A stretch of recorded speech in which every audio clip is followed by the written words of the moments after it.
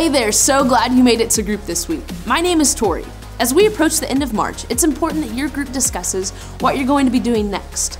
With the official winter group session coming to a close here at the end of this month, that leaves you with a couple options. Your group can take a break through April, or you can continue on. If you choose the latter, be sure to discuss a plan of what your group will be doing next. Just remember to run any study that your group chooses by your campus pastor for approval.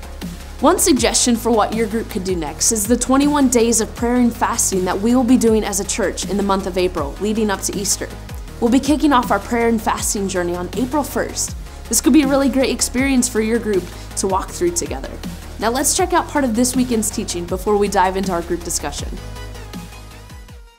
There's two passages where Paul refers to Scripture in 1 Corinthians 3 He's talking about the process of, you know, like being brand new in your faith versus maturing in your faith. And Paul says, Dear brothers and sisters, when I was with you, I couldn't talk to you as I would to spiritual people. I had to talk as though you belonged to this world or as though you were infants in the Christian life. I had to feed you with milk, not with solid food, because you weren't ready for anything stronger. You still aren't ready, for you're still controlled by your sinful nature. You're jealous of one another. You quarrel with each other. Doesn't that prove you are controlled by your sinful nature? And aren't you living like people of the world? And again, Paul wrote that to like all the people who lived in the city of Corinth.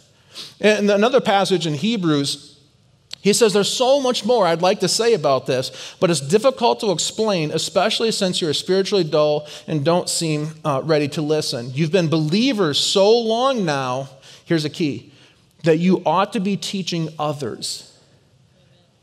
He's saying you, you believe that Jesus is the Christ, and you've believed that for a really long time. But by this point, he's, Paul is saying to, to the believers here, he says, You need to be teaching what God's already taught you onto somebody else. And he says, Instead, you need someone to teach you again the basic things about God's word. You're like babies who need spiritual milk, can't eat solid food. For someone who lives on milk is still an infant and doesn't know how to do what is right. Solid food is for those who are mature, who through training have the skill to recognize the difference between right and wrong. Now, let me go back to the board here.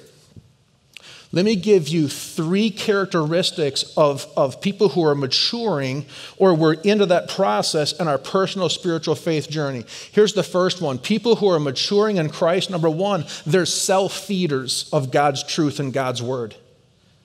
Somebody who's, when a baby's born into the family over here, like a physical baby, if you left a physical baby to fend for itself, it would die a baby has to have a mom or a dad or someone to love it, to care for it, to cradle it, to protect it, and to feed it. Listen, spiritually, it works the exact same way. If you make the decision to be a believer, a follower, you're striving to be a, a, disciple of Christ, and if you're not doing it in relationship with someone else, that's a tough, tough road to walk. People who are brand new in their faith, they need someone to break it down and to say, here's what God is talking about in Scripture, and here's what it means, and here are different possible ways of how it can apply to our life and our living. When we start maturing in faith, you don't need someone to spoon feed you the truth of God's Word. You're already doing it yourself on a daily basis. Our, our older boys will be coming home for, for spring break before too long from college. I promise you, they're not going to let me cut their food and go, eh, here comes the airplane. I don't want to, and they don't want me to either.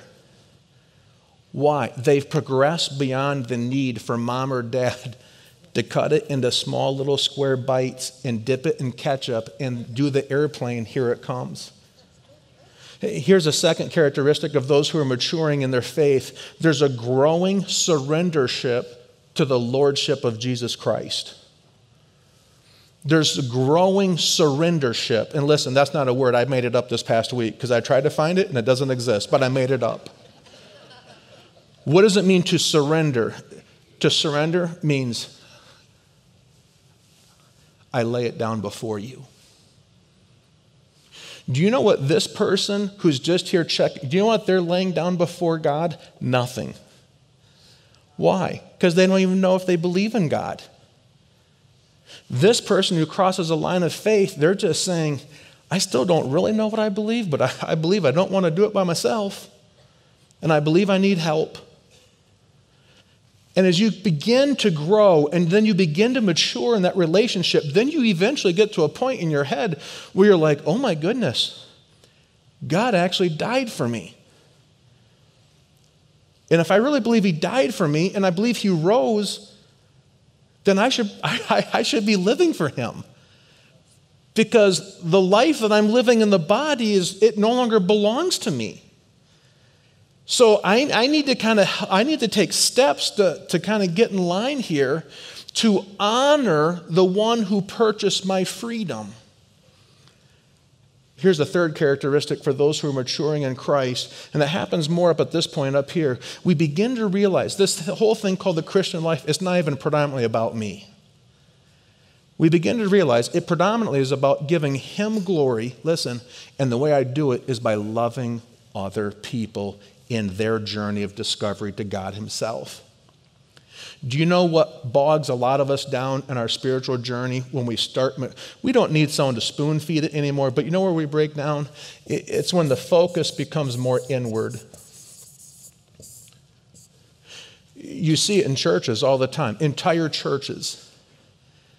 Entire churches, if they're not careful, will, be will begin to develop a selfish inward focus Meanwhile, the whole community around them is not even being penetrated by the love of Jesus Christ. Do you know why that happens? I'll explain it to you really simply.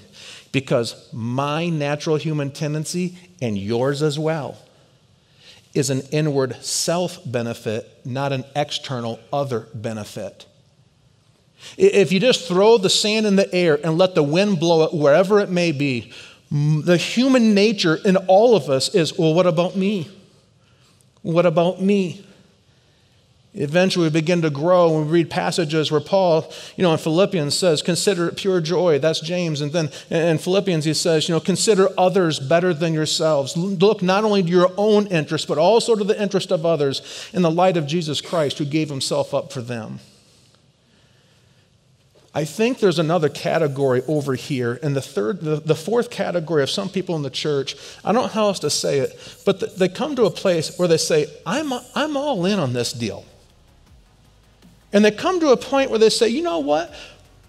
Everything, honestly, everything that I have, that's the cars, the house, any little bit of change in the bank, clothes on my back, everything, it really does belong to God.